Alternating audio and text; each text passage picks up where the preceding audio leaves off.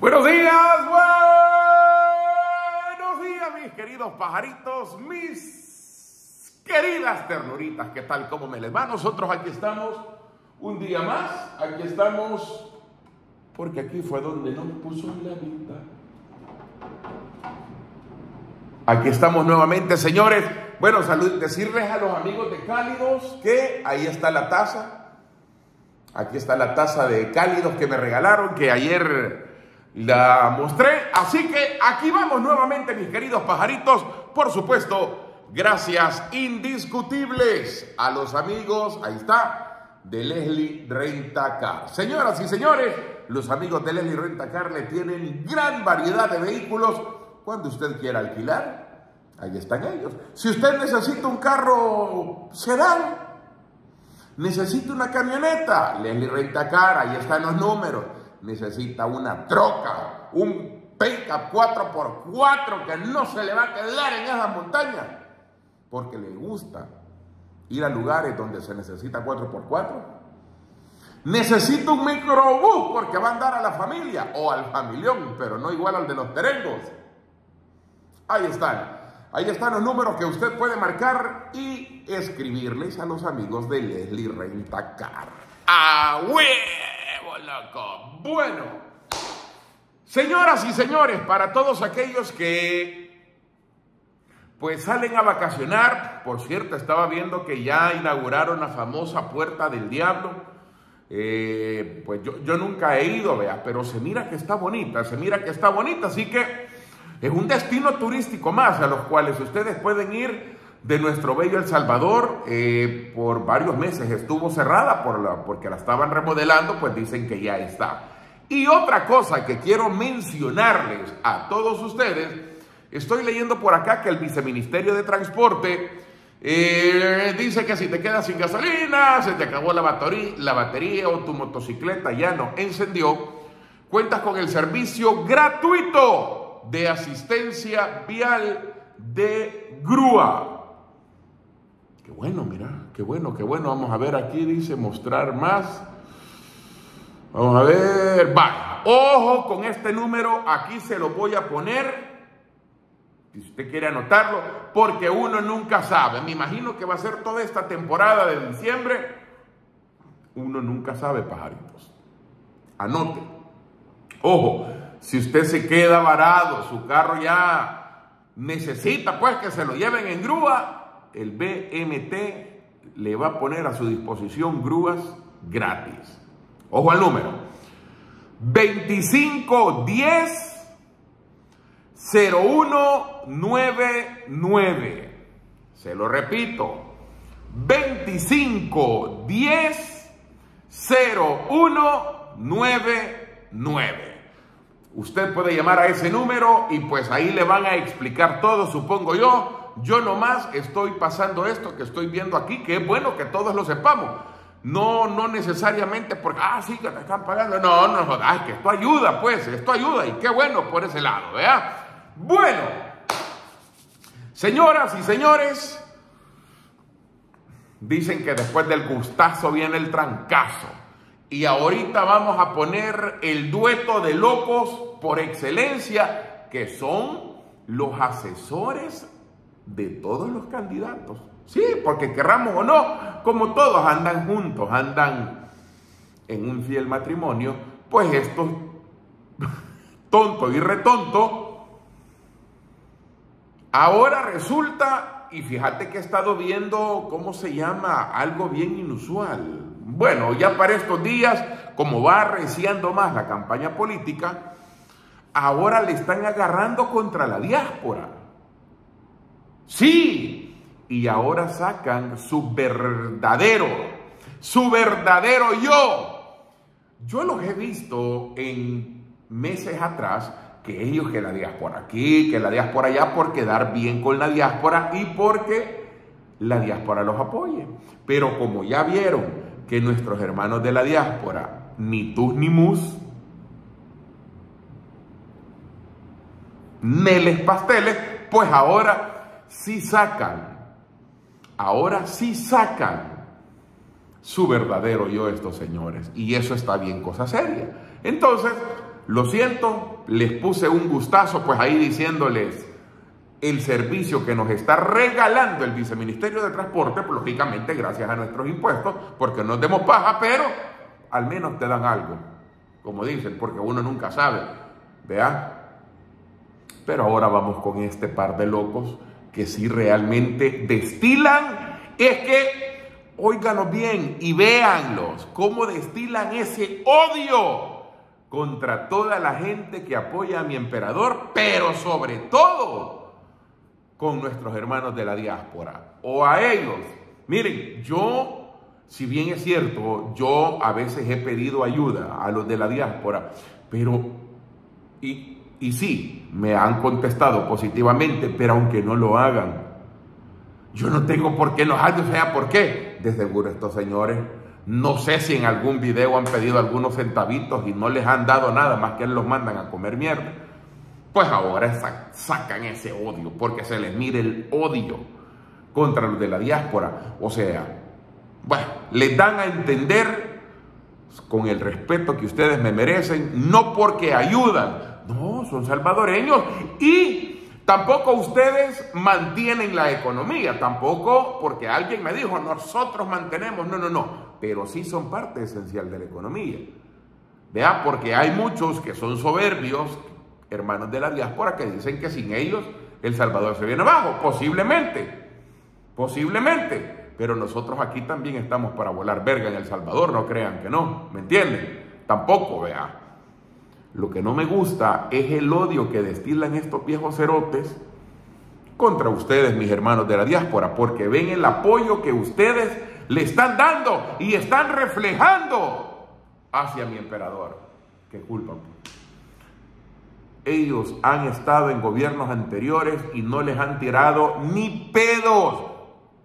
Este tipo de viejos cerotes son los que han dicho, ah, está bueno, hay que manden pisto, pero hasta ahí. Lo ha dicho Ronald Milmañas, lo ha dicho. Pero miren ahora lo que dicen. Para el 2024, bueno, yo lo que le pido a la diáspora, más bien les hago ver que no tienen derecho a votar por Bukele, no tienen derecho a dejarnos una dictadura nosotros acá, porque es bien cómodo vivir en Estados Unidos y votar para que aquí se monte una dictadura. Eso es pecado. Eso es pecado, señores. En su conciencia quedará todos los muertos que hayan o hayamos aquí en este país a causa de que ustedes voten mal. Aquí en El Salvador ya hay mucha conciencia. Espero que, en Estados Unidos también haya conciencia de eso. Entonces él le apuesta a la diáspora, Ron. Sí, le apuesta a la diáspora. Eh, es que a la diáspora, pues obviamente la han engañado. Como no viven acá, no sufren lo que sufrimos nosotros y solo pasan viendo la propaganda que les mandan, ah, solo pasan viendo a los youtuberos estos mercenarios vendidos que hay, eh, pues ni modo, la diáspora tiene que, que reaccionar, ¿verdad? Si es que van a morir parientes de ellos aquí, hombre, si votan por él. Vaya, con el primer loco, imagínate cómo, cómo vienen a asustar ellos, vea, cómo vienen a decir ese tipo de cosas asustando a la gente, dando a entender que aquí va a haber una matazón perra. ¿Y de dónde está sacando que aquí va a haber una matazón? O sea que antes vivíamos en el país de las maravillas. Antes todo era tranquilo. Matazones habían antes que habían 30 muertos diarios semejantes. Mm. ¿Por qué quieren estar diciendo eso y amenazando a los familiares de la diáspora. Señores,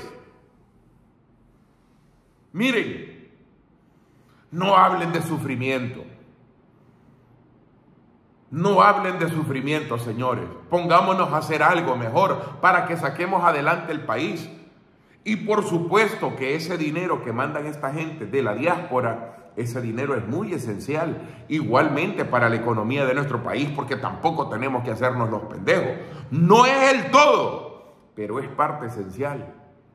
¿Y por qué ponerte vos a decirles que no tienen derecho? Si bien es cierto, hay cosas que ellos vienen por una semana, por 15 días, pero miren, yo por eso les pido en estos videos que ustedes compartan, porque yo, en lo personal, valga la redundancia, soy de los que digo lo bueno y lo malo del gobierno actual. Muchos se enojan, porque digo cosas que ellos no quieren del gobierno actual. Por ejemplo, como el video que, que, tiré de, cuando desmienten a, a Ernesto Castro, que lo desmiente Gallego, a muchos no les gustó.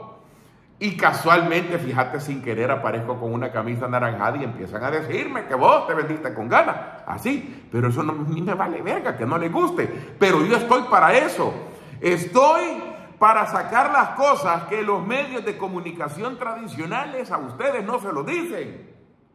Dicen lo que les conviene, pero ahora ya no es así. Eso era antes que hasta yo agarraba paja, como eso solo lo decía TCS, lo decía el 21, lo decía Teleprensa, que ya no existe, lo decía el 12, y eso, Cuatro Visión, y eso era todo. En la prensa, en el de hoy, y eso era todo. Lo que ahí estaba era ley, porque como no había más, hoy no. Hoy, por medio de estas redes sociales, y yo me encargo, no me importa que me puteen, porque me pegan unas puteadas a veces, cuando yo hablo por las cosas malas que hace mi emperador, o sea, o su gobierno, o los diputados, pero es mi obligación como salvadoreño hacer eso. Es mi obligación. Y viene este viejo loco y empieza a hablar cualquier tipo de pendejadas, que aquí va a haber matazones, que aquí estamos sufriendo. Ah, ah puta, por el amor de Dios, no voy a decir que estamos viviendo en el país de las maravillas, como él quiere reflejar que vivíamos antes. No, Señor, pero hoy vamos luchando y sabemos que cada centavito que vamos ganando es nuestro. No tenemos que pagarlo. Eso es ganancia. Y no me vengan a decir que no. Los buceros que ya no pagan extorsión, que ya no pagan renta, eso es un verbo de plata que se están ahorrando. Y si antes subsistían pagando renta, ¿por qué no ahora? Porque estos, yo trabajé de cobrador en buses, no me vengan a dar paja. Yo trabajé, si ya anduve por mil millones de trabajo, no jodas. Yo trabajé de cobrador en buses, casi un año. Y se pagaba un vergo. La señora con la que yo trabajaba tenía cuatro o cinco buses. Y hasta por los buses que no servían, hasta por eso le tocaba pagar la renta. Y así muchas personas, no me vengan con esa paja. Con seguridad empezamos a sacar adelante la economía, señores. Pero también el gobierno tiene que ver qué hace para catapultar mucho más la economía.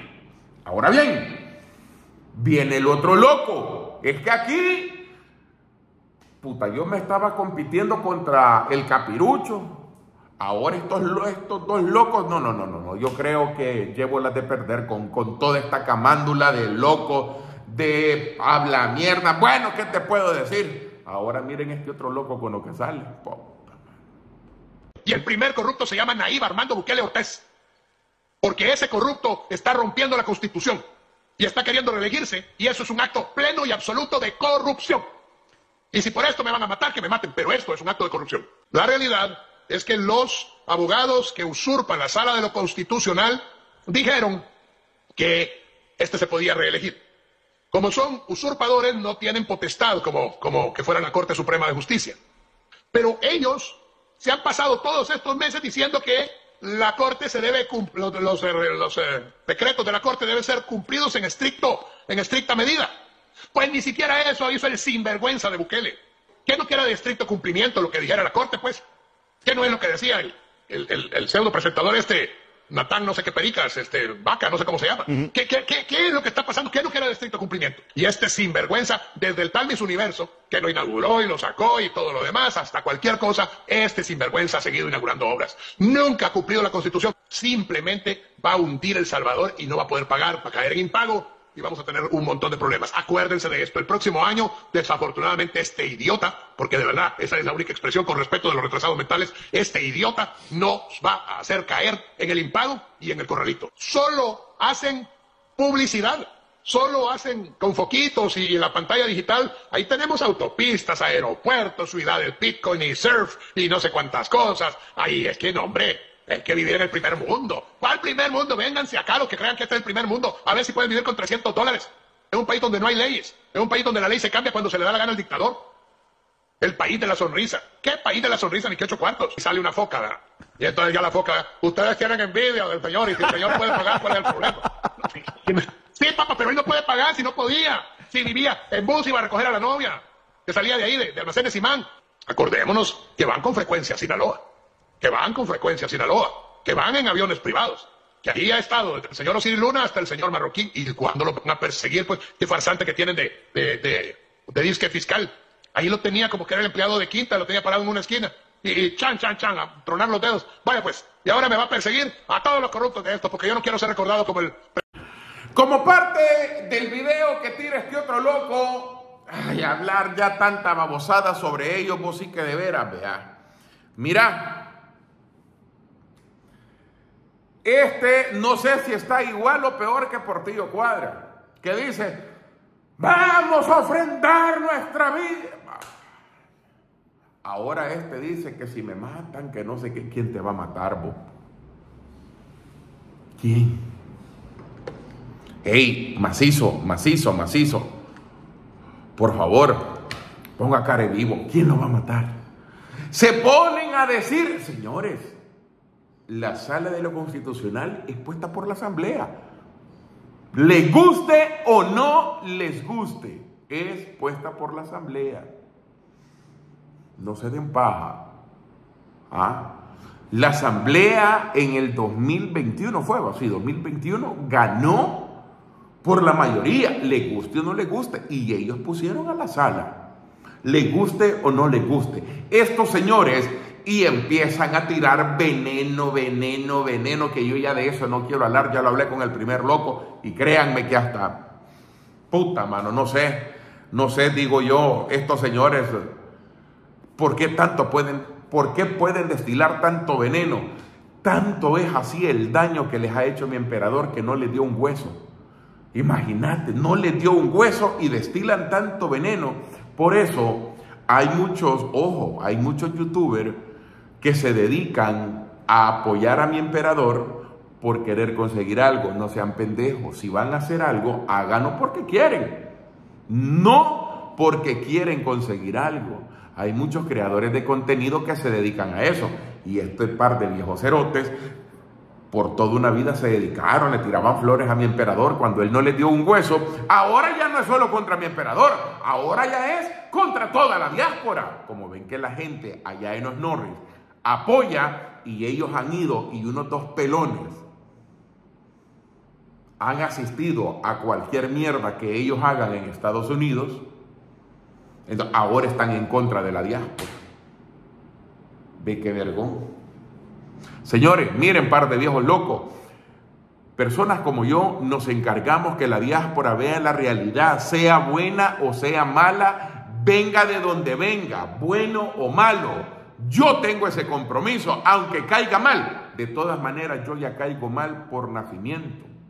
Ya caerles mal a mis amigos de la diáspora cuando, cuando hablo cosas que no están bien de mi emperador, de sus ministros o de sus diputados, ahí me pegan de voladas, pero igual. Para eso estamos nosotros aquí. Vea, Así que no la agarren en contra de la diáspora. Si ellos van a apoyar al hombre, ¿cuál es el problema? Pues, ¿cuál es el problema? ¿Cuál es el problema? Tal vez mándenle vos uno haciendo ciertas bolas a estos maestros, digo yo. Tal vez así les gusta. Porque yo creo que eso es lo que andan buscando. Que los callen mandándole unas fichitas. Neta, neta, no es paja. No es paja la que les estoy dando, ¿cómo no? Y así está este volado, señores, con tanto loco, hijo de puta. Imagínate ahora, ahora, ahora, hablando, hablando mal contra los de la diáspora. Solo porque eh, cada vez se va haciendo más grande el apoyo de la diáspora hacia mi emperador. ¿Cuál es la culpa? ¿Cuál es el problema? Si ahora ellos han venido y antes no lo hacían por temor a que los terroristas a cada rato les anduvieran pidiendo pisto o los extorsionaran o los amenazaran solo por andar tatuados. Porque un vergo de la diáspora andan bien tatuados. Y aquí los terroristas te salvequeaban porque andabas tatuado. Imagínate, imagínate, imagínate, cerote. Porque andabas zapatos de tal, de tal estilo el pelo en las mujeres, porque lo andaban pintado, se, te salvequeaban. Así estábamos de hecho mierda, entre otras cosas.